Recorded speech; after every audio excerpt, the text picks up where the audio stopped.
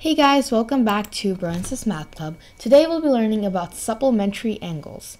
Now in our previous video we learned about complementary angles and we said that they add up to 90 degrees. Supplementary angles is very similar to that topic, however this time the angles have to add up to 180 degrees. So you have two different angles and they're both supplementary angles and when you add their angle measurements together you should get 180 degrees.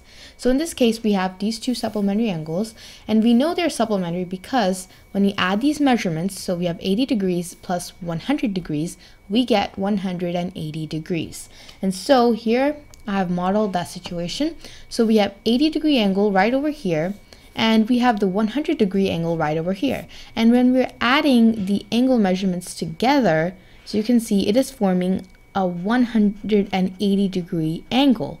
And we know from our types of angles video that a 180 degree angle is a straight angle or uh, also known as a straight line. So as you can see, it is forming a straight line or a straight angle right here.